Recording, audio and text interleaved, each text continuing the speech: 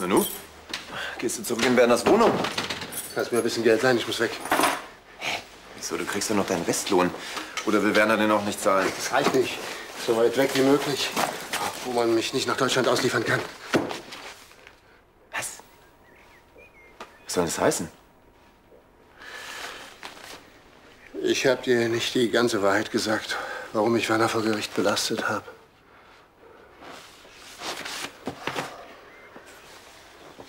Ich konnte nicht anders.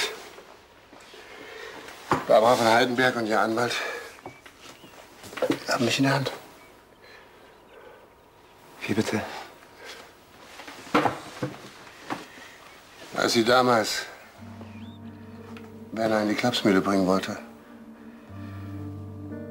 habe ich geholfen, die Psychopharmaka zu verbrechen. Was, was? Damit wollte ich Schlimmeres verhindern. Dieses Weib hätte ihn sonst umgebracht. Deshalb habe ich da mitgemacht. Verstehst du das? Ob ich das verstehe, fragst du mich?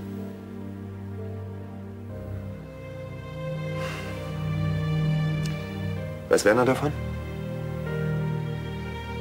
Ja. Dann verstehe ich seine Wut auf dich. Er will mich anzeigen. Zu Recht. Das war wieder mal klar. Du spielst dich hier als Moralapostel auf, aber was dein Vater wirklich will, interessiert niemand. So, jetzt hältst du aber mal die Luft an, ja? Herrgott, mal, ich bin doch so doof, so naiv. Ich lob dich noch in den höchsten Tönen, dass du ehrlich bist, vor Gericht die Wahrheit sagst. Ich stell Werner zur Rede, warum er dich feuert. Und was erfahre ich? Du, du machst gemeinsame Sache mit einer Mörderin. Gegen deinen Bruder, mein Gott. Aber dass ich ihm dadurch das Leben gerettet habe, das zählt wohl nicht. Und dafür soll ich jetzt Jahre in den Knast. Ist das vielleicht gerecht? Ich hab... Ich hab wirklich gedacht, du hast dich geändert. Ich hab gedacht, du hast was verstanden. Nee, nee, nee. Diesmal bist du echt zu weit gegangen. Viel zu weit. Den eigenen Bruder vergiften, das ist so derart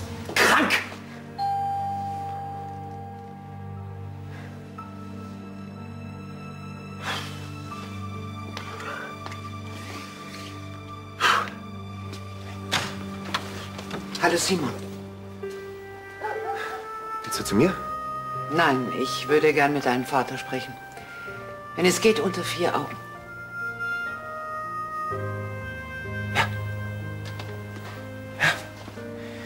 Klar. Ich wollte sowieso gerade gehen. Mir wird da drin ganz schlecht.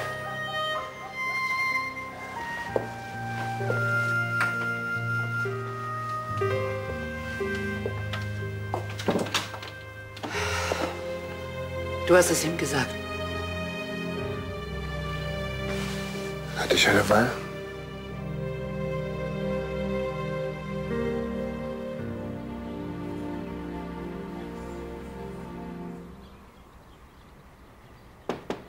Ja?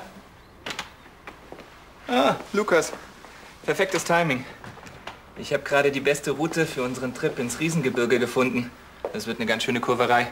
Wann genau wollen wir noch mal los? Ich komme nicht mit. Nein? Ich habe zu viel zu tun. Du fährst mit Sandra allein.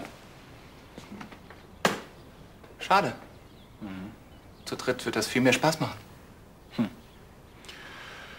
Hauptsache, sie kommt wohlbehalten zurück. Keine Sorge. Ich werde sie hüten wie meinen Augapfel. Nach der Transplantation muss sie noch aufpassen. Also keine Überanstrengung, klar? Ich werde mich um sie kümmern. Ich will doch auch nicht, dass deiner Süßen irgendwas passiert. Ich weiß, dass dir Sandra gefällt. Aber sie ist mit mir zusammen. Vergiss das ja nicht. Dem Freund die Freundin ausspannen. Ja, wo gibt's denn sowas?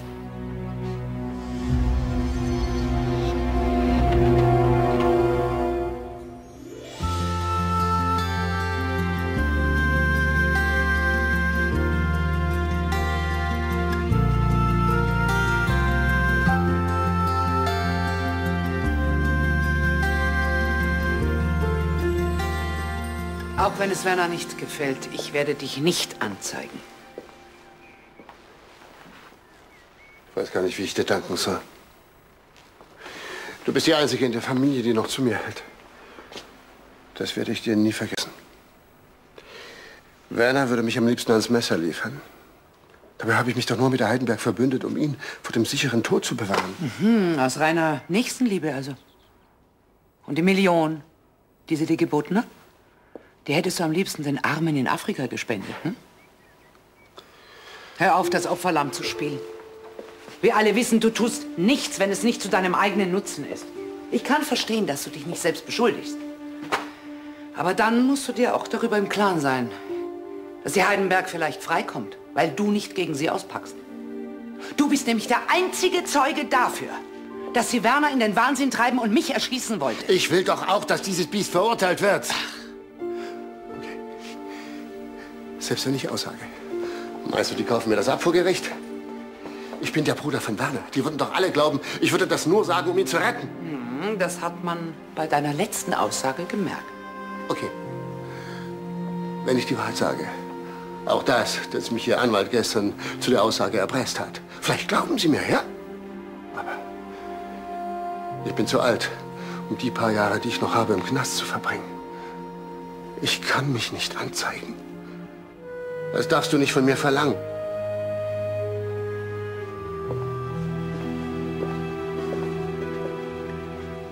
Das werde ich nicht.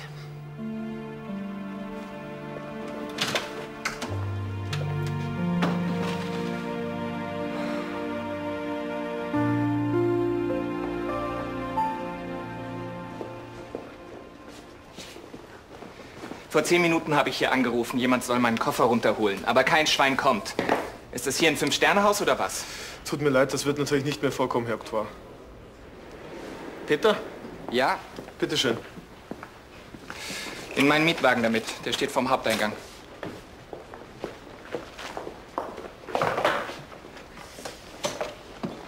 Darf ich? Dankeschön. Keine Ursache. Wenigstens Sie lassen mich nicht im Stich. Ich dachte schon, ich müsste allein ins Riesengebirge fahren. Dann wissen Sie es also schon. Ja, Lukas kommt nicht mit. Aber nicht nur das. Wieso, was denn noch? Er hat mich sehr drastisch gewarnt, ich soll die Finger von Ihnen lassen. Ja, ich soll es nicht wagen, Sie anzurühren, sonst müsste ich mich warm anziehen. Ich wusste gar nicht, dass der so ein Schlägertyp ist. Ist der gar nicht. Vielleicht haben Sie Lukas einfach nur falsch verstanden. Das glaube ich nicht, denn ich kenne ihn schon ziemlich lange. Aber bevor hier noch ein weiteres Missverständnis passiert, ist es vielleicht besser, Sie bleiben auch hier. Nein, auf gar keinen Fall. Dafür ist mir das Projekt viel zu wichtig. Soll Lukas ruhig hier bleiben. Wir beide fahren jetzt ins Riesengebirge und schauen uns das Kloster an. Ach, mein Koffer. Ich mach das schon. Ich mach das. Dankeschön.